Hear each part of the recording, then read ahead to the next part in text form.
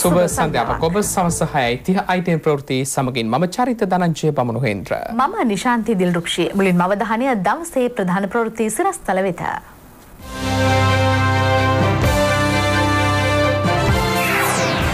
සංහිදියාව ගොඩනැගීමට මානව හිමිකම් කවුන්සිලයට ශ්‍රී ලංකාවෙන් අලුත් යෝජනාවක්.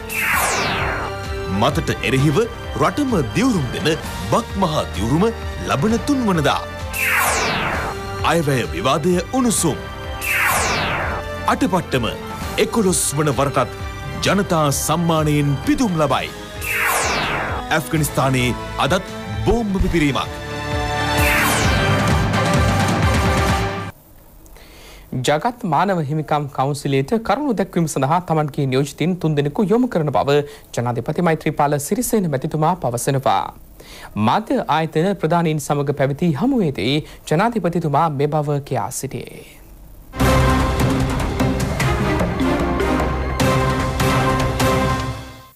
මගේ නියමිතින් තුන් දෙනෙක් මම ජිනියාවලට යවනවා. මේ ගැටේ කොහොමද ලියාගන්න කියලා බලන්න තමයි මගේ නියමිතෙන් ගිහිල්ලත් ඉල්ලීම කරන්නේ අපිට කරන මේ යෝජනා පුළුවන් තරම් මේවා අපිට බලපෑම් කරන්නේ නැතුව අපිට නිදහසේ කටයුතු කරගෙන යන්න මේ ප්‍රශ්න අපි විසඳ ගන්න. ඒ නිසා යුද්ධය අවසන් වෙලා අවුරුදු 10ක් ගිහිල්ලා නැවත මේ පරණ දේවල් හොය හොය මේ තුවාලේ පාරගෙන හිත අමනාප කරගන්න නැතුව අපි සියලු දෙනාම සාමය සඳහා කැප වෙන්න මේවා අමතක කරලා එකම පිරිසක් විදිහට රටේ ජීවත් වෙන පසුබිම හදාගන්න අපිට උදව් දෙන්න කියලා තමයි අපි ඒ ඉල්ලීම කරන්න තමයි මගේ නියෝජිතයෝ මම යවන්නේ. බලාපොරොත්තු වෙන්නේ මම යවන්න ආචාර්ය සරත් අමුණුගම මහින්ද සමරසිංහ ඇමතිතුමත් තුරේ ආණ්ඩුකාරතුමත් යවන්න මේ නියෝජිත පිරිසට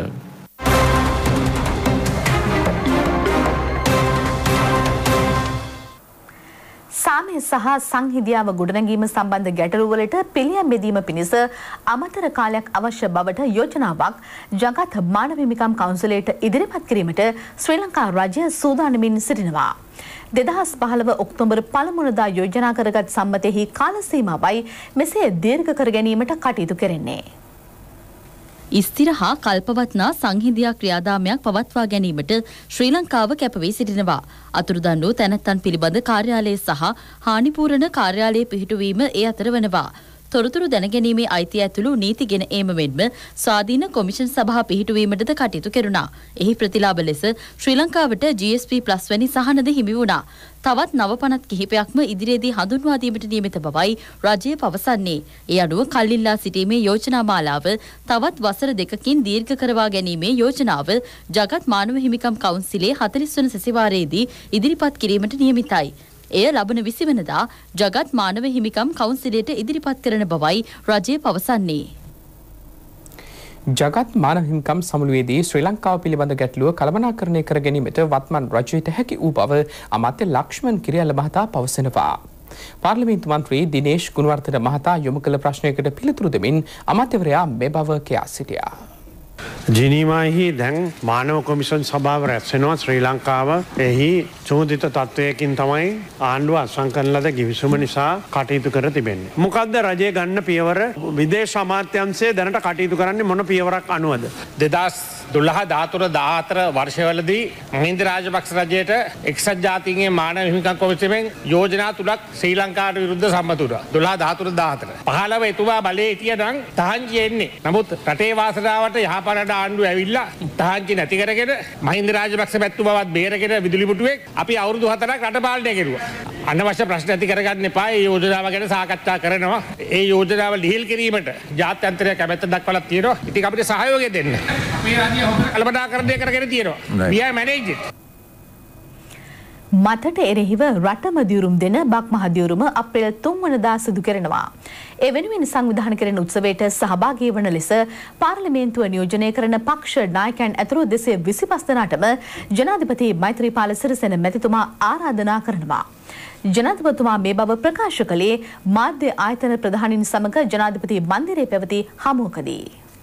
මද්‍රව්‍ය මර්ධනය නිවාරණය සහ පාලනය වෙනුවෙන් ගෙන යන වැඩපිළිවෙල ශක්තිමත් කිරීමට කැපවිය යුතු බව ජනාධිපතිතුමා මෙහිදී අවධාරණය කළා. රටේ දරුවන්ගේ හෙට දවස වෙනුවෙන් මද්‍රව්‍ය භාවිතයෙන් වැළකී සිටීමට සියලු පුරවැසියන් සිය හෘද සාක්ෂිය අනුවම ක්‍රියා කළ යුතු බව ජනාධිපතිතුමා පෙන්වා දුන්නා. මත් විරෝධී වැඩපිළිවෙල කිසිදු බලපෑමකින් තොරව සාර්ථකව ක්‍රියාත්මක වන බව ජනාධිපතිතුමා පෙන්වා දුන්නා. පොලිසිය මද්‍රව්‍ය නාකොටික් අංශවල STF ඒගොල්ල කියන්නේ මේ කාලය කිසි බලපෑමක් නැතුව කටයුතු කරනවා කියලා. කලින් ඒ ජේෂ්ඨ නිලධාරීන්ව මාත් එක්ක කියනවා කොහේ හරි වැටලීමක් කළොත් ඇල්ලුවොත් කවුරු හරි කතා කරනවා කියලා. නමුත් දැන් ඒගොල්ලන්ට කතා කරන්නෙත් නැහැ කිසි කෙනෙක් මට කතා කරන්නෙත් නැහැ. දන්නවා මට කතා කළාට වැඩක් නැහැ කියලා. ඔබ දකින මේ මහ විශාල ප්‍රමාණයේ වැටලීම් මේවා කරන්නේ අපේ නිලධාරීන් කිසිදු නව තාක්ෂණික උපකරණ කිසිම දෙයක් නැතුව. කොච්චර මිල අධික වුණත් මේ වැඩේ තිබෙන වැදගත්කම නිසා ඉදිරි මාසයක දෙක කාලය තුල අපිට ඒ උපකරණ ලබා ගන්න පුළුවන් වෙයි. ඉතින් මේ තත්ත්වයක් එක්ක මත්ද්‍රව්‍ය මර්ධනය පාලනය සහ නිවාරණය අපි තව තවත් ශක්තිමත් කරනවා.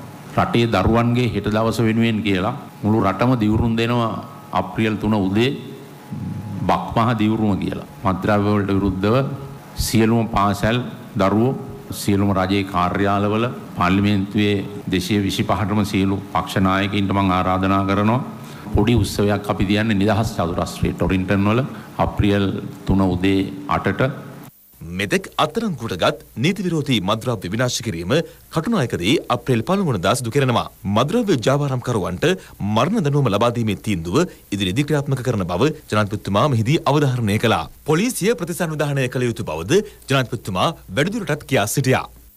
පෙරේදා අපි තීරණයක් ගත්තා පොලිසිය ඔක්කොම ජ්‍යෙෂ්ඨ නිලධාරීන් ගෙනල්ලා සේවය අතහැර ගොස් සිටින සියලු දෙනාම සේවයට කැඳවන්න ඒගොල්ලන්ගේ පුද්ගලික ලිපිගුණය විනය ප්‍රශ්නයක් නැත්නම් ඒ සේවය අතහැර යන්නේ ඒ තිබෙන යම් යම් මානසික පීඩාවන් නිසා පොලිසියේ යුනිෆෝම් එකෙන් එළිය පේන තත්ත්වෙ නෙවෙයි අභ්‍යන්තර හරිම අනුවේදනීයයි. ඒක නිසා පොලිසිය සම්පූර්ණ ප්‍රතිසංවිධානයක් කළ යුතුයි. ඒ ප්‍රතිසංවිධානයක් නම් පොලිසියෙන් කරන දේ කෙරෙන්නේ නැහැ. දැන් පොලිසිය උසස්සින් ගන්න ඔක්කොම අධිකරණයට ගිහිල්ලා නඩු කියලා. දැන් පොලිස් කොමිසම මේ අවුරුදු කීපේ හරියට ඒ වැඩ ටික කෙරුණා නම් ඒගොල්ලන්ගේ වගකීම හරියට තේරුම් අරගෙන මෙච්චර පොලිසිය නිලධාරීන් උසාවි යන්නේ නැහැ උසස් සීම් වලට. පොලිස් කොමිෂන් සභාව මේ වගකීම ගන්න ඕන මේ නිලධාරීන් ඇයි උසාවි යන්නේ. උසස් සීම් වලට. එක පොලිස් කමිසමේ ජොබ් එක එක. පොලිසිය පිළිබඳව තිබෙන විවේචන වගේම අභ්‍යන්තර තත්ත්වය සොයලා බලන්න ඕන. ඇයි මේ තත්ත්වයට මේ විදිහේ සිද්ධ වුණේ කියලා. අයවැය විවාදය අද ආරම්භ කෙරුණා පක්ෂ විපක්ෂ මහජන නියෝජිතින් අයවැය විවාදයේදී අදහස් දැක්වූවා.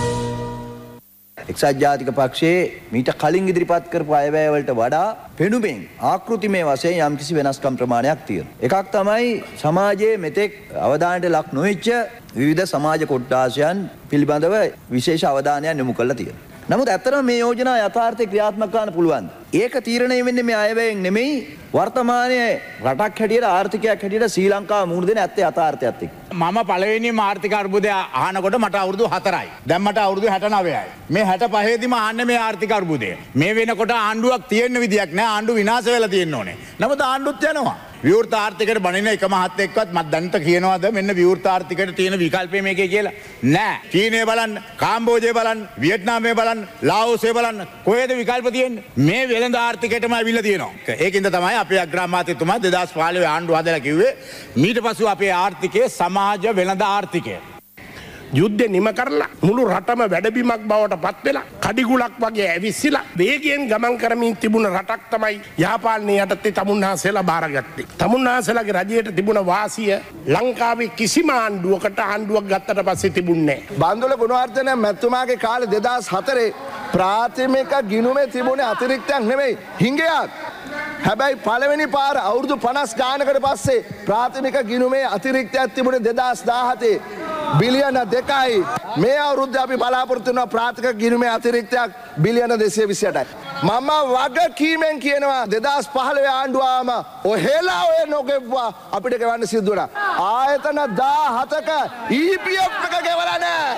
අපේ දෙදස් පහළුවේ ඉඳලා අපේ ජාතික සංවර්ධන ඉලක්ක අපි පෙළගස්වල ඒ ඉලක්ක සාධනය කරගන්ට යන ගමන අපි ඒ විදිහට පවත්වාගෙන යන අතරේම පේරටේ සාමාන්‍ය ජනී ජනයා වෙනුවෙන් ඔවුන්ගේ යහපත අභිවෘද්ධිය වෙනුවෙන් කල්පනා කරපු අයවැය. එම නිසා මේක පොදු ජන හිතකාමී අයවැයක් හැටියටත් නම් කරන්න කැමති. ග්‍රාමිය රෝවල් වල තියෙන එදිනදා තියෙන මහජන සෞඛ්‍ය වැඩ පිල්ලත් කඩාවැටලා තියෙන එක වෙලාවක මොකද හේතුව මිනිස්සු එතෙන්ට එන්නේ නැහැ. ඒ නිසා මේ නිදහස් සෞඛ්‍ය ඇත්තටම අපි දුන්නට රජය කොයිතරම් මුදල් වියදම් කරත් ඒක පාවිච්චි කරන්නේ නැහැ මේ රටේ මිනිස්සු තියන්නේ මානසිකව තියෙන ප්‍රශ්නයක් නිසා.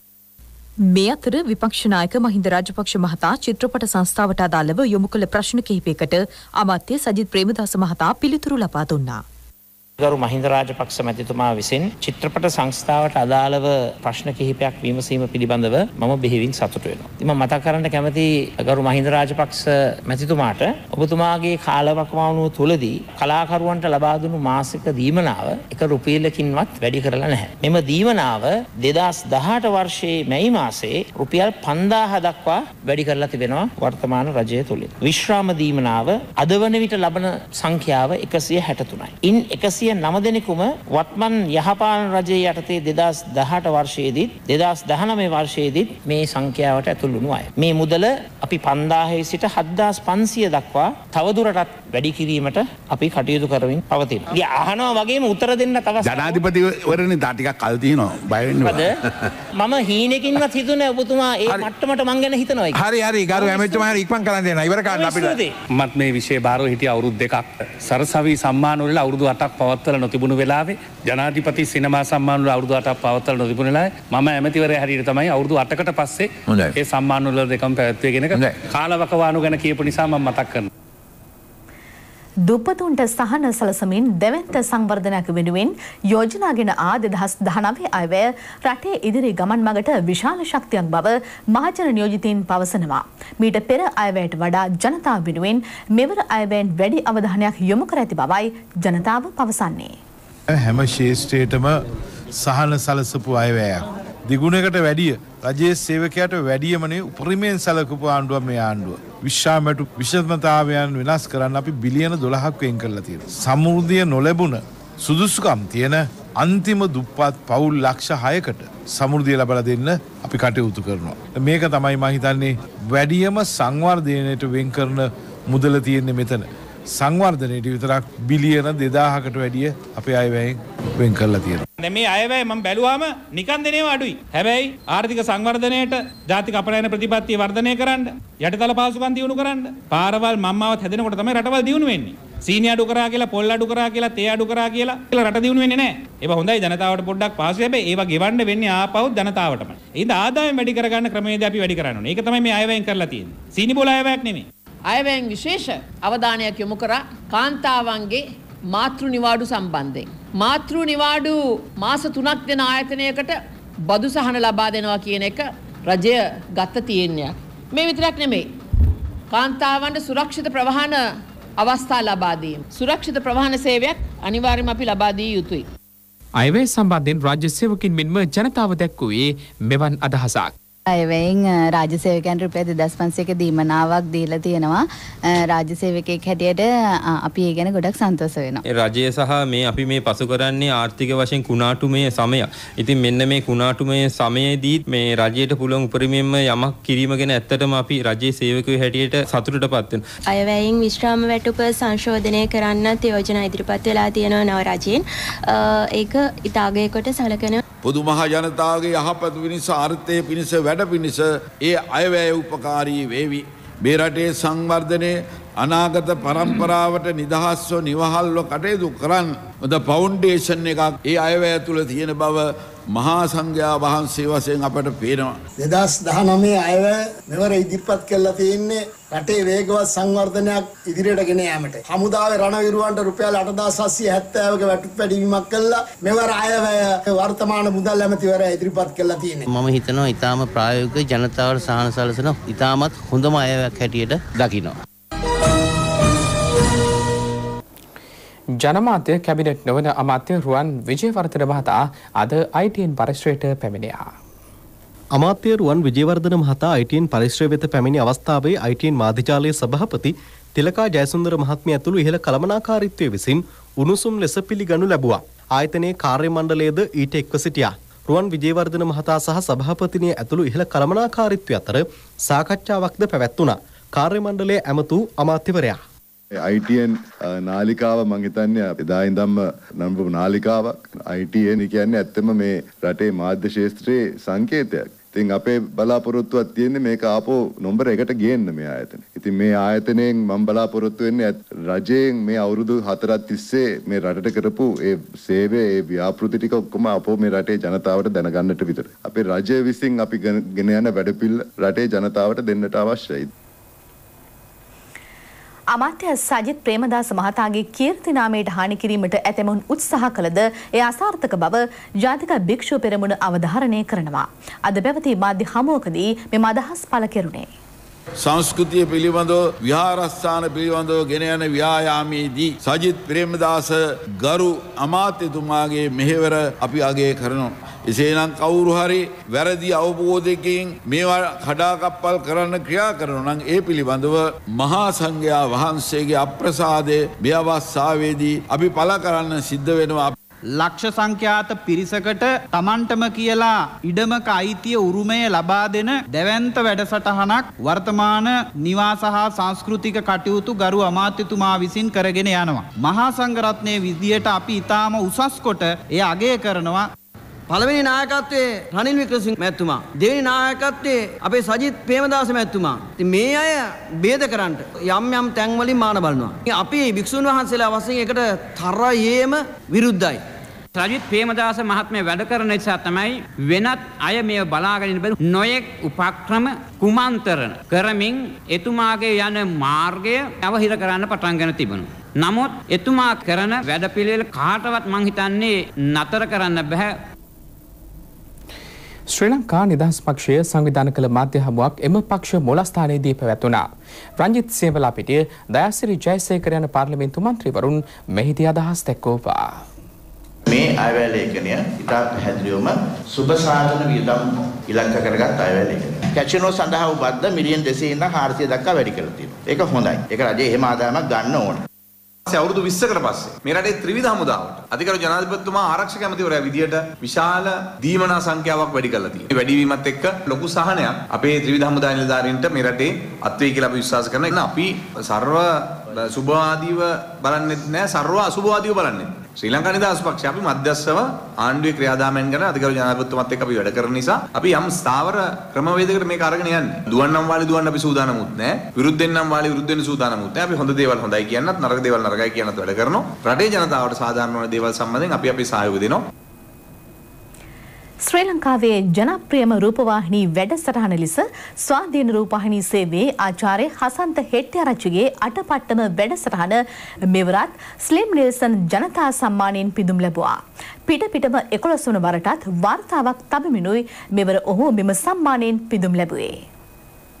හසන්ත හෙට්ටිආරච්චි අකණ්ඩවම එකොළොස්වන වරටත් මෙවර ජනතා සම්මානයෙන් පිදුම් ලැබීම විශේෂත්වයක්. ස්ලිම් නිල්සන් ජනතා සම්මාන උළෙලේදී ඔහු ජනප්‍රිය නිවේදක සඳහාද නිර්දේශ වුණා. ස්වාධීන රූපවාහිනියේ වැඩසටහන් කළමනාකරු ලෙස කටයුතු කරන ආචාර්ය හසන්ත හෙට්ටිආරච්චිගේ අටපට්ටම වැඩසටහන ශ්‍රී ලංකාව තුළ පමණක් නොව විදෙස්ගත ශ්‍රී ලාංකිකයන් අතරද බෙහෙවින් ජනප්‍රිය වැඩසටහනක්. එය සනාත කරමින් මෙවරත් ස්ලිම් නීල්සන් ජනතා සම්මානයෙන් ඔහු පිදුම් ලැබීම ITN මාධ්‍යජාලයේ පමණක් නොව සමස්ත අටපට්ටම ප්‍රේක්ෂකයන්ම ලැබූ ජයග්‍රහණයක්. එකොලොස් වැනි වතාවට දිනනවා මොකක්ද මේ ප්‍රෝග්‍රෑම් එක අට පට්ටම වාර්තාපිට වාර්තා තැබූ අටපට්ටම ශ්‍රී ලංකාවේ ජනප්‍රියම රූපවාහිනී වැඩසටහන ලෙස අකණ්ඩව එකොළොස්වැනි වරටත් නිදහස් දහ නවය ස්ලිම් නීල්සන් ජනතා සම්මානය දිනාගත් වගයි ප්‍රේක්ෂක ඔබට ITN ප්‍රනාමය. මිනිපේ වම් ඉවුරු ඇල පුනරුත්ථාපනය කිරීමේ ව්‍යාපෘතිය ලබන නොවැම්බර් මාසය වන විට නිම කිරීමට මහවැලි සංවර්ධන හා පරිසර අමාත්‍යාංශය අපේක්ෂා කරනවා. මහවැලි සංවර්ධන හා පරිසර රාජ්‍ය අමාත්‍ය අජිත් මානම්පිරුම මහතා සමග මාධ්‍යවේදීන් කණ්ඩායමක් ව්‍යාපෘතියේ ඉදිකිරීම් කටයුතු නිරීක්ෂණය කිරීම සඳහා කී අවස්ථාවේ මේ බව අනාවරණය වුණේ.